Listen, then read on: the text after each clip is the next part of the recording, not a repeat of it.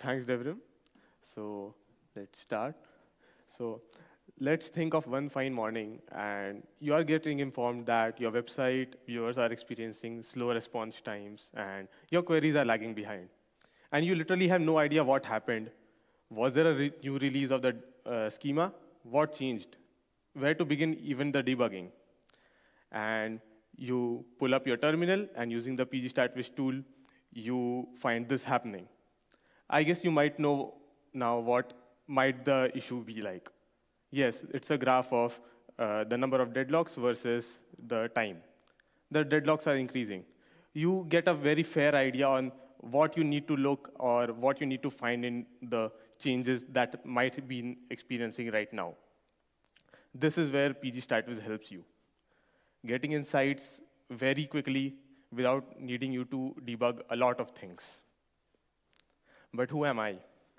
Hi everyone, I'm Rajiv Harlalka, an undergraduate student from India, a member of Kharagpur Open Source Society, a society which is student-led at my university, IIT Kharagpur. I'm a new member to the Postgres community. I'm a terminal guy who loves nature and plays squash. So let's start with getting what is pgstatviz. It's just a minimalist extension and a utility pair. By the end of my talk, I'll try to tell you how minimal the tool is. The tool is useful for time series analysis and visualization of internal statistics Postgres provides. In short, Post, uh, is your Postgres buddy. But first, let's dive in the world of monitoring and observability in a more general sense, without talking more in the terms of databases. What are the different parts and what goes around? Though the entire flow is not a one-man job, observability is not something one person can individually handle, I guess.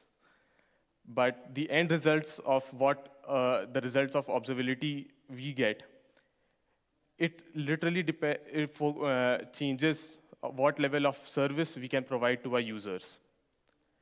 It starts from performing, performing operations.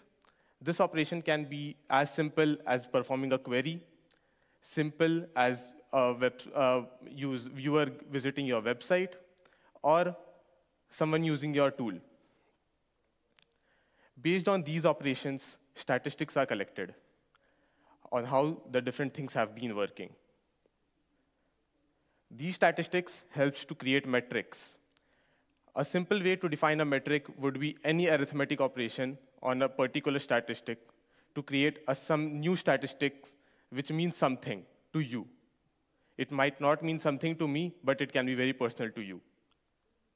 Now, either we go to utilize these metrics to create graphs, plot histograms, and then further use these graphs to perform tuning and analysis of the system. The other way around is to create alerting systems. You can create dashboards, you can create alert systems where you get mails, your chats on your Slack, and based on the conditions which you provide to the system. But this part of the observability is not what pgstatviz focuses at. It's not what we do. We, just focuses on the part of collecting statistics till generating the plots. Even the analysis has to be done by some person, of course. But why do we exactly need pgstatviz?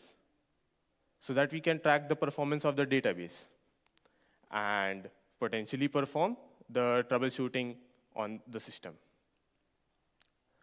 The tool helps to analyze your system at a simple glance. You don't need to understand a lot of details you have a simple graph, you define what you need, and you are done with it. And most importantly, you can even give these graphs to a person who does not know a lot about the database, how Postgres stores these statistics internally.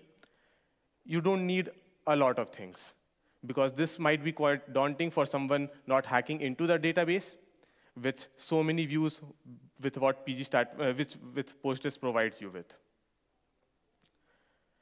the design philosophy behind the tool is quite simple. It has to be minimal. Code should be small enough that it, it just does the job it has to do.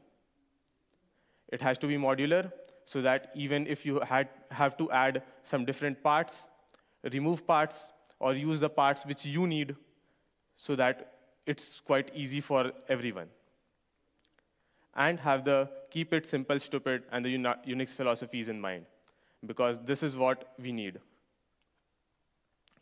In short, it just does what it is meant to do, provide you with insights, help you know your database better.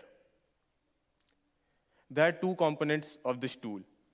One is the Postgres extension, which creates, which snapshots the statistics of uh, internal statistics of the database, and a Python utility pair or a CLI tool, which takes these statistics collected by the extension and creates visualizations upon them. There is no need to restart the database to get the tool started. If you have been using some tool, you might know that uh, most of the tools require you to restart the database or a SIGHUP instruction to get the tool working. But there is no even shared preload libraries. All the data uh, that is collected is from the statistics which Postgres provides. This gives the tool a plug-and-play magic, which helps you get this running on any system, how old it might be running on. The first step of installing, uh, installing it would be getting hold of the extension.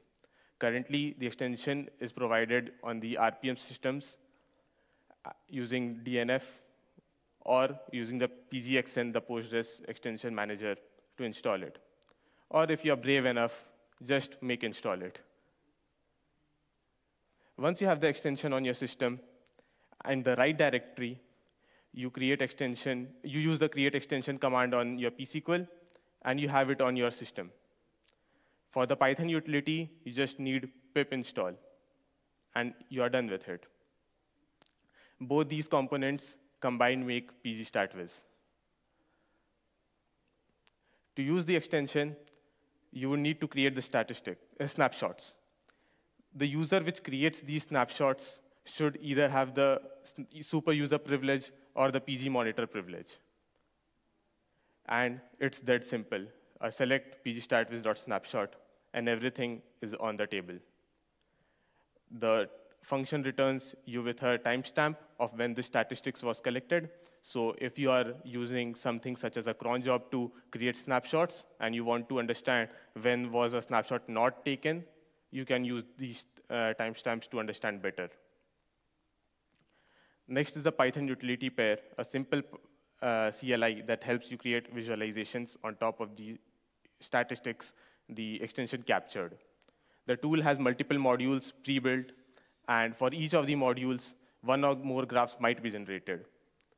The, the other parameters for the uh, tool are the same as the psql, which you are already familiar with. A simple command, and you get all the visualizations stored on your system in the form of PNGs. And you can analyze them. If you don't need all of them, you can even use uh, uh, instead of the analyze command, instead of the analyze command, any of the modules, and you can get that particular visualization. But before moving on, what are these statistics which I'm exactly talking about? Postgres collects a number of statistics using the collector, which gets reported as views. Most of these are about the internal activity or the table index information at the block level. We have two types of these views. First is the cumulative statistics, and there are 24 such views, which the statistics collector collects, and it mostly deals with the server activity. pgstat table, pgstat indexes are some of them, which tells you about the table and index information on how they are getting used. The second type is the dynamic statistics, which tells you about the different uh, things which are in progress, such as vacuuming or replication. So this, not, this might not be very much cumulative because it's something happening right now. Though the, though the cumulative statistics are cumulative, but why do we need to store them? They are cumulative. The reason is fairly simple. To, since the cumulative statistics will be gone once you reset the database. And secondly, if you see the value at one point, you just see a number. You don't see how the value has been performing over time. You don't have a history of it. Unless you have a history, you can't tell a lot what has been changing, how the value has been changing. That's what is needed to understand the database more better. Understanding how the extension works behind the curtain and why am I calling it modular, why am I'm calling it minimal. At the very base, it's just a base schema which is getting used to create visual uh, snapshots upon. There is a simple table which just have one field, the snapshot timestamp. And this uh, timestamp is used as a foreign key for other tables which are used for collecting the different uh, statistics. So assuming you have a table, uh, a, a, table for storing the statistics for the WAL writes. So that would have one of the uh, fields as the timestamp that would be linked to this. So all of your different tables are connected to this main table, which is the base schema. And next is the modular specifics. What your module requires, what the statistics you need, and what are the statistics you want to collect. You might need all of the information that a particular view provides you, or you might not need them. It depends upon you. At this time, we currently have eight modules written for different use cases, such as the buffers, locks, waits, WAL. For the utility part, you just need to create a simple Python script. Most of the script can be used as a template from what's already written, and the only change with, would be on the part of what you want to create. It can be dead simple as uh, just fetching everything. If you can see, I just called the select file, uh, select uh, query, and fetching the different parts from it. And it can be very complex too. This is a script for the uh, wait events on how the different wait events are performing on the database. This, quite, this can be quite time-taking to write, but we are Postgres guys. For creating the visualization, pgStatViz leverages the capabilities of matplotlib and a very basic configuration on the font size, font family, and the size of the plot which we, are, which we want. If you want, you can even customize this. Combine both of these, and you have a modular utility. Just import the module which you wrote, and it's working in action. So let's play a simple use case and understand how uh, pgStatViz could have helped. All of us know about the checkpointer is the crazy process that dumps all the raw changes in the WAL into the file system.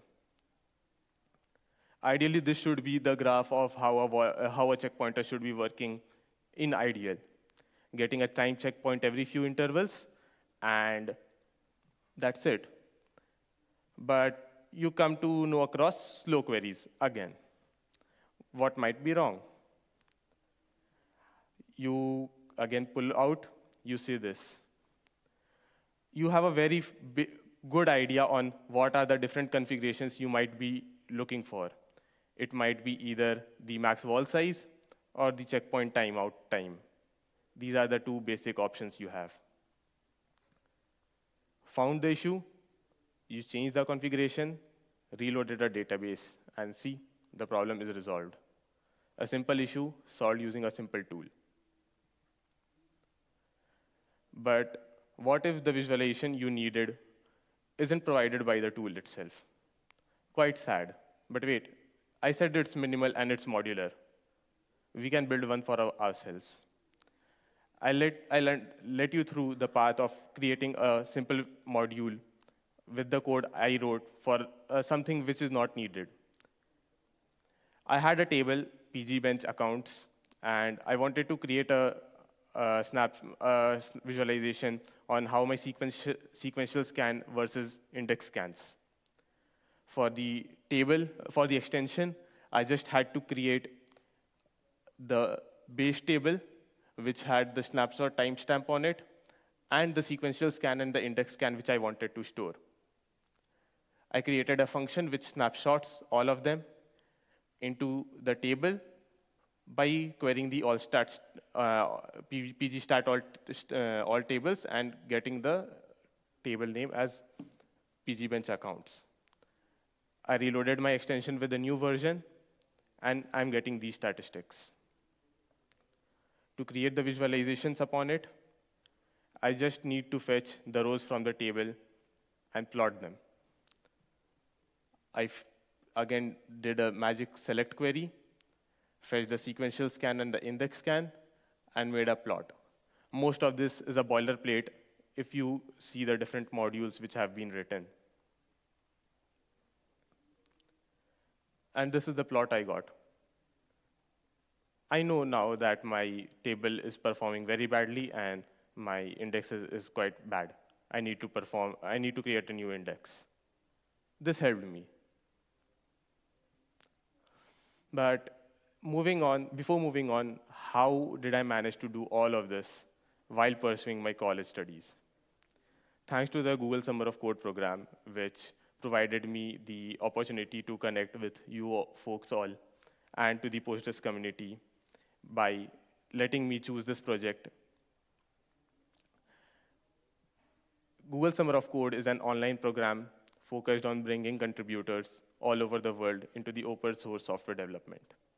It was started in 2005 by Google, and Postgres has been a part of it since 2006. So 20 years is coming.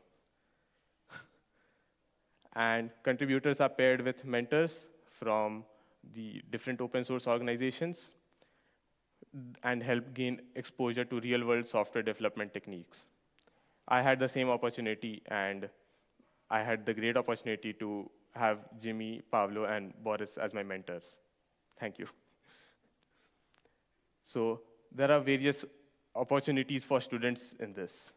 We get to work on real world problems and real world open source software, where, which can be quite hard to, for a very beginner to get into. Having a mentor or having someone to guide is really helpful in this. We get to connect to a larger community of the organization and our fellow GSOCers during the process. Having both communities in hand helps us understand how to do something which we haven't done during my experience, during my uh, GSOC journey, I had a number of friends. I could create a number of friends through the program, and some of them I even talk to right now. One of them is uh, would be uh, talking about his uh, project tomorrow.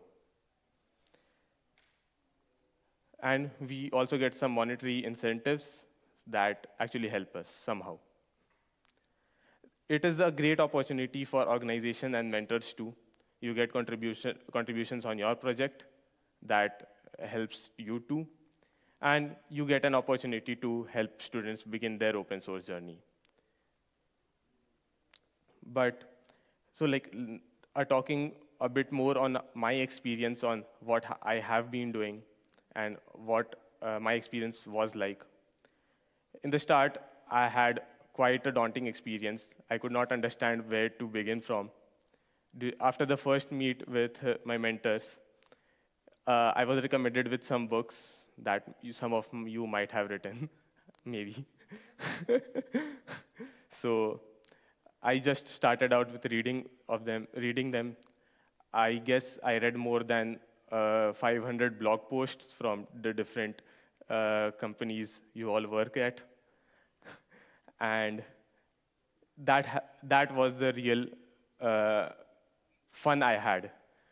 I could get a number of things just by reading through the blog post and reading the documentation of Postgres itself. More next to it was working on the project itself. So for creating the project, I needed to understand how Postgres works internally. So slowly I got to understand, I, I had some talks with my mentors, and I got to understand how the different things move in the community itself and whom I could contact to further for more queries. One good answer I received and I remember is just ask on the hacker's mail list. You'll get an answer. I asked, I got no answer. so I guess Slack and the internet relay chat was my uh, favorite part where I actually got my answers. So that was another fun part where I, like, by just by mailing the hacker's mail list, I actually read more than 200 mails again with uh, uh, 50 more threads. Yes, quite daunting, but I got to understand a lot of things from that itself, and I got to uh, understand more on my uh, favorite things on what I want to do. I had a chance on exploring some of the Linux fundamentals through working for uh, in this project. So getting back to the talk to PG StatViz, and let's understand how some of the ways like PG StatViz can be extended further to solve the use cases it isn't meant to be. The use your own, bring your own metric, something just I showed you a moment ago. You snapshot the necessary statistics which are required. You update the extension on the database. You create a module for your metric on the visualization tool. And you get a freshly brewed visualization out of the box. You might even create the live stat monitoring dashboards. The data is located on your database, and you own it. You can create whatever you want. You can even create alerting systems on it. It's very simple. To wrap up, PG StatViz is a very simple tool that helps you gain insight on your database. It does not involve any dependency. You don't even need to restart your database. The entire tool is modular. You bring what you want, you use what you, what you want, and you create what you want and it is open to contributions. Thanks for tuning in. Any questions?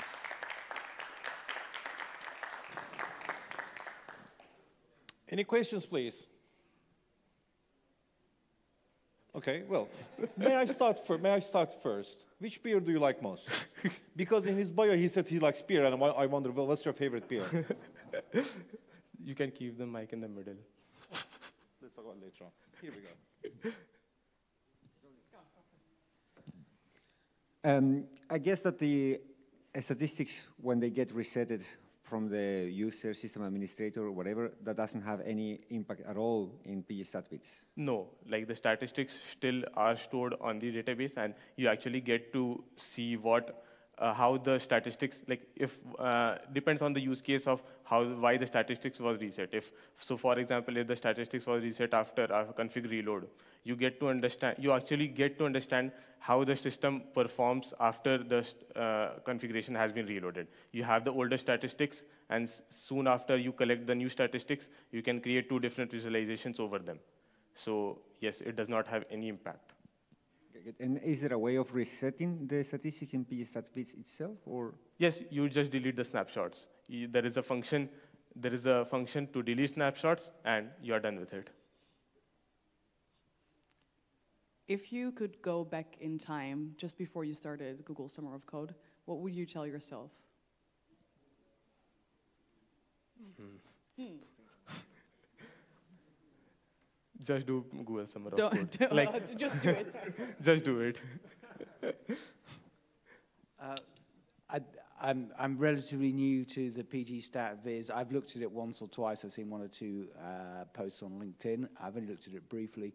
Uh, it looks very nice for a simple tool for quickly gathering key database statistics, much lighter weight than using something like Prometheus and Grafana.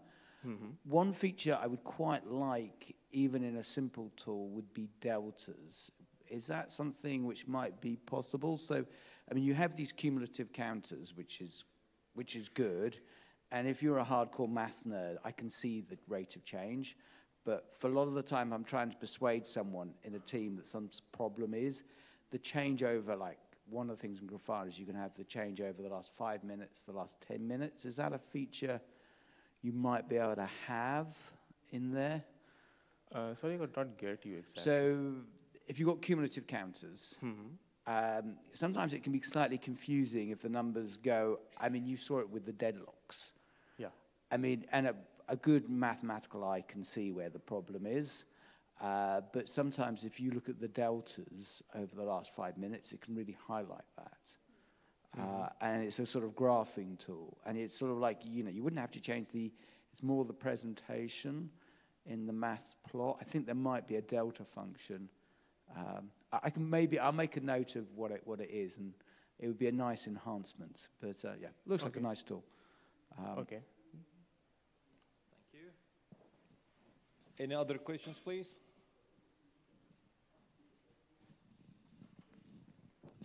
Thank you. So I assume you spend a lot of time with the PG StatViz. So how do you think, is it better to run it manually or use any scheduling like cron or whatever? And what is the minimal or okayish interval between the snapshots?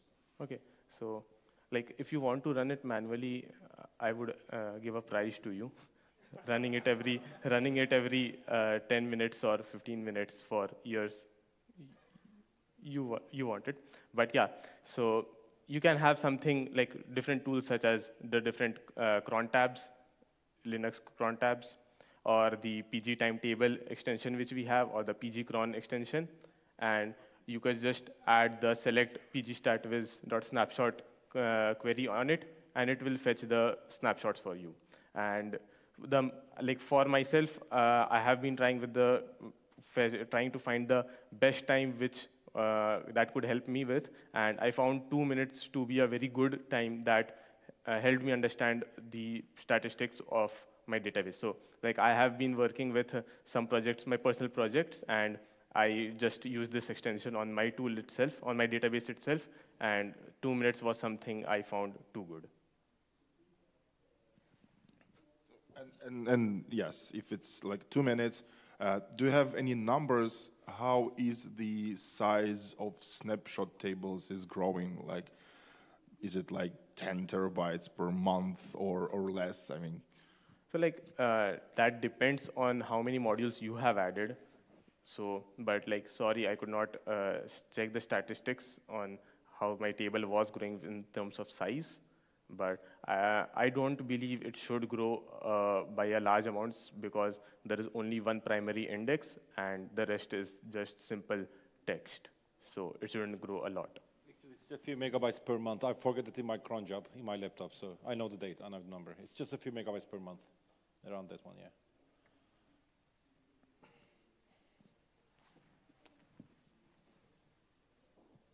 So th- there was one other thing which you said which made me smile and also piqued my curiosity. So you mentioned that the hackers list was actually quite intimidating to get a response.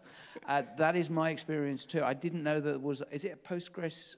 Uh, there's a Postgres Slack channel, and that was more helpful. Uh, if you had a general question, was was that your experience? Was that I've not found the Postgres Slack channel before.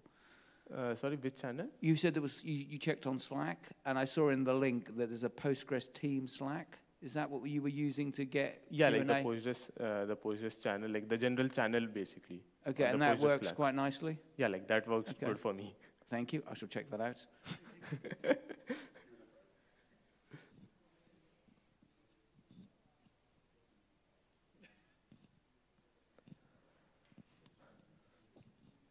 Uh, it was a nice talk. Um, a small uh, query, if you want to take um, a snapshot, it's a select query.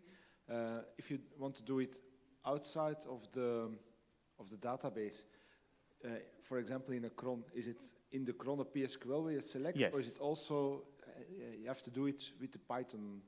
No, No. like uh, for uh, the cron, you just need to automate using the psql command, and uh, in the command itself, add the query of the select.